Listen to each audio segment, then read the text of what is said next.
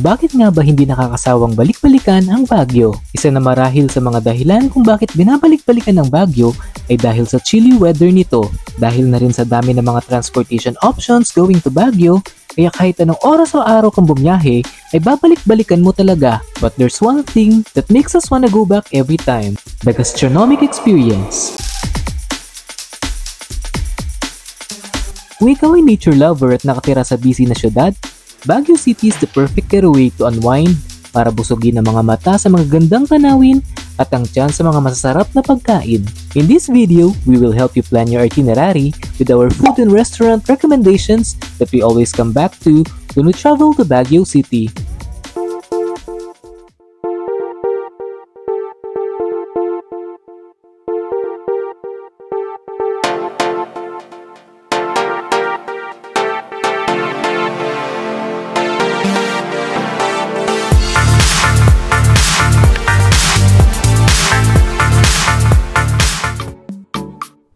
As we always say, a Baguio trip is not complete without a meal at Good Taste Restaurant.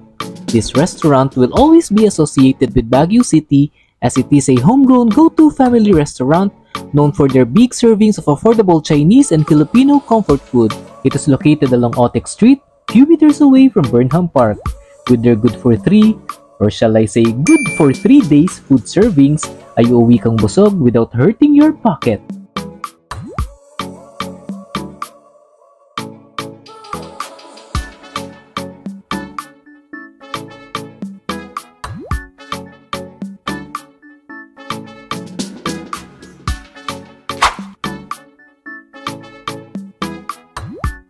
If you're looking for a place that not just only serves food, but also retro and pin-up aesthetics, 50s Diner is for you. This restaurant is known for their affordable foods, including burgers, pancakes, and milkshakes. It is located at the 4th floor of Porta Vaga Mall along Session Road. Ang breakfast meals nila ang lagi namin binabalik-balikan dito dahil worth it ang malaking serving nila sa kanilang presyo. At ang ambience, as its name implies, will surely take you back to Elvis Presley's time.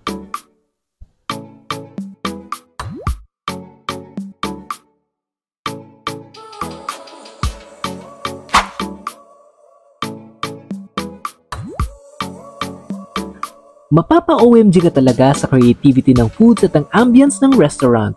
Oh My Gulay, from the name itself, is a restaurant that serves vegetarian meal. Located at the 5th floor of La Sotea Building along Session Road.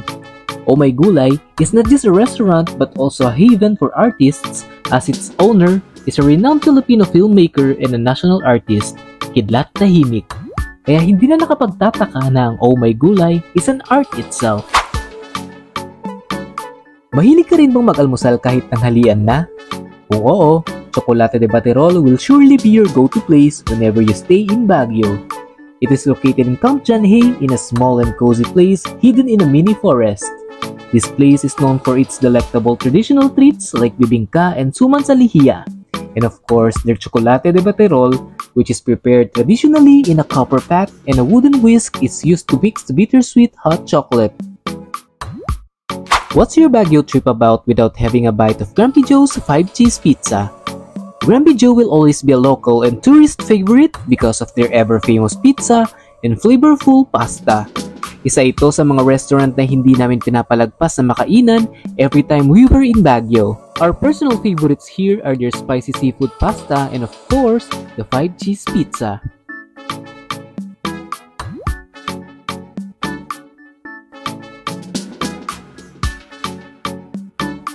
Another restaurant owned by the national artist Kidlat Tahimik, which houses various restaurants in a cave-like art den. We recommend you to try the matcha latte and Shopauban of Scout Barrows. This place offers not only eye-enticing interior, but also an overwhelming food to choose from. This food park also offers plenty of coffee options na talaga namang gigising sa matutulog mo pang diwa.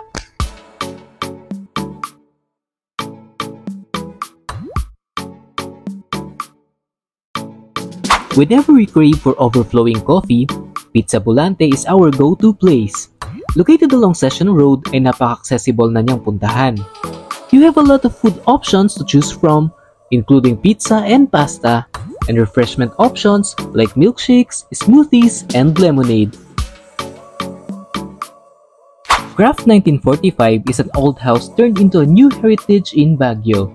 This restaurant prepares their food a la Espanol, and they also serve craft beers. The place is located at Outlook Drive, 10 to 15 minutes ride away from Burnham Park. If you want to try your usual Pinoy food with a touch of Spanish-style cooking, you should go here and definitely will come back to try more. But for now, we recommend that you try their sisig and chicken wings. Sawa na ba sa pizza at pasta? why not try some mouth-watering pork barbecue? Kanto offers their signature dish, the Loma ribs. These are oven-baked and grilled pork ribs smothered in their house-blend barbecue sauce. Served with a side of salad and creamy mashed potatoes, you have the choice of ordering a half slab or a whole slab. While it might be a bit pricier, you definitely get what you pay for. Technically not a restaurant, but it is a perfect place to start the night or cap the night off. Baguio Night Market offers a wide range of food options mula sa isaw hanggang sa shabu-shabu. Choose your poison na lang.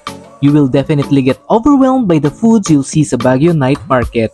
And we learned that the longer the queue, the better the food.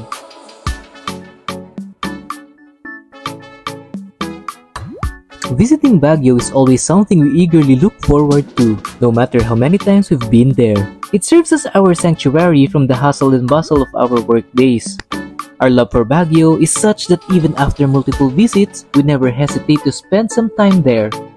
Truly, we've left pieces of our hearts in Baguio City.